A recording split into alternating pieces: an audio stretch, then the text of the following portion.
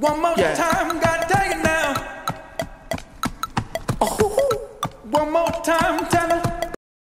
Bonjour à tous et à toutes, si vous le voulez bien, nous allons voir aujourd'hui le fonctionnement du logiciel en ligne BlendSpace. Donc si vous le voulez bien, dans un premier temps, on va taper BlendSpace dans sa barre Google.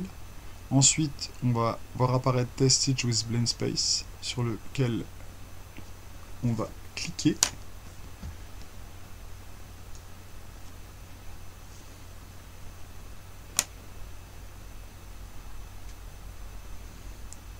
Une fois sur le logiciel, nous nous trouvons face à un service en ligne qui promet de pouvoir organiser des leçons contenant n'importe quel type de document avec une interface de suivi de travail pour les étudiants. Pour s'inscrire, il faut cliquer sur le lien Join Free ici.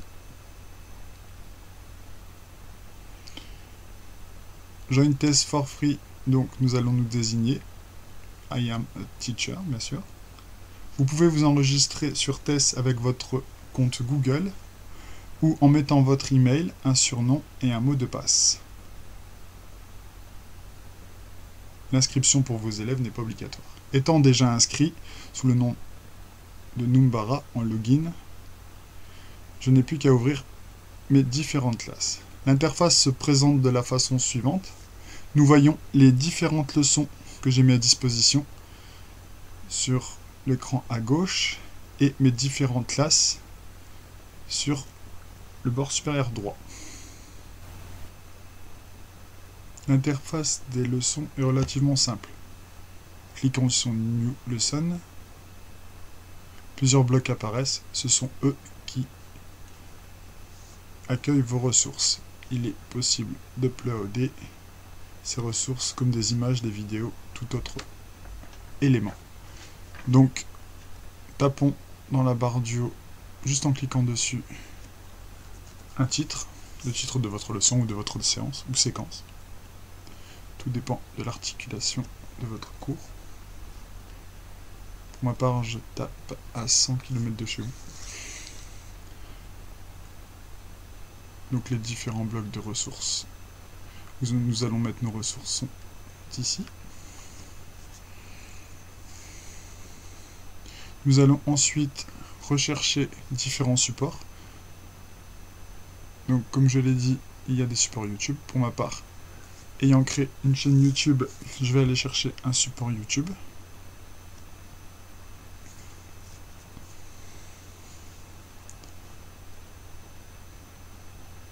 Donc je clique le lien sur YouTube. Et je trouve il suffit alors juste de déplacer ce lien en cliquant dessus. En maintenant le clic droit. Puis de le déplacer tout simplement. On peut aussi chercher sur Google. Google Images. Filtre. On peut insérer des web pages. On peut y insérer aussi des ressources internes au logiciel BlendSpace, donc Search My Test Resource.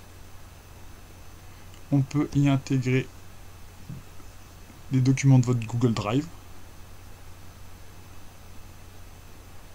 Vous pouvez intégrer aussi des documents de votre Dropbox et uploader les médias qui sont directement dans votre ordinateur en cliquant tout simplement sur cette icône. Donc voilà les ressources que j'ai déjà téléchargées pour ma part qui viennent de mon ordinateur. Pour les trouver, il suffit juste d'appuyer sur parcourir et vous choisissez la ressource de votre ordinateur que vous voulez uploader sur l'icône drop ressources. Vous pouvez créer aussi des documents texte à la façon de Word, très simple d'utilisation.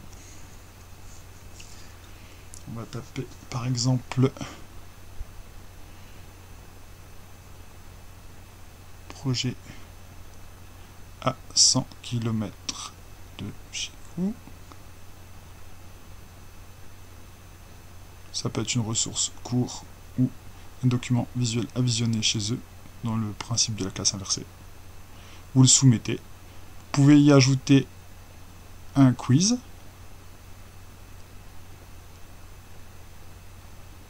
Donc vous entrez dans la question ici.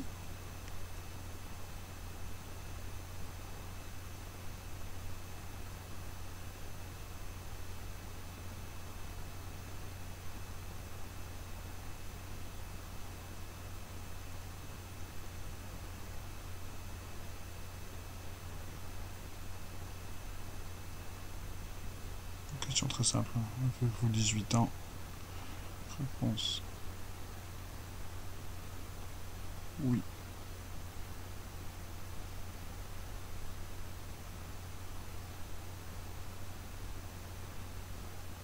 Non.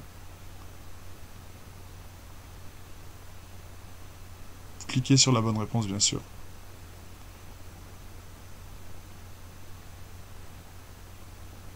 Vous pouvez entrer d'autres questions avec Add a Question.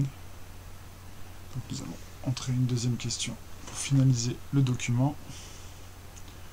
Comment allez-vous?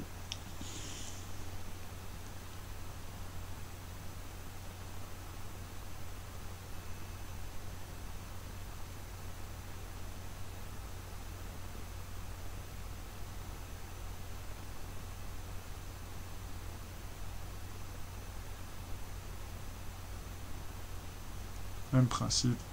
Très bien. Ajouter une réponse add observe, ajouter une question add a question. Et pour soumettre,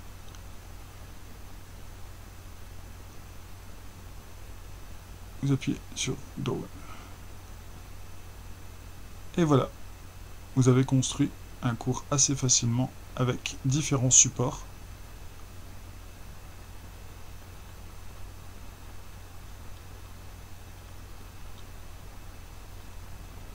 Pour soumettre, vous appuyez sur Share.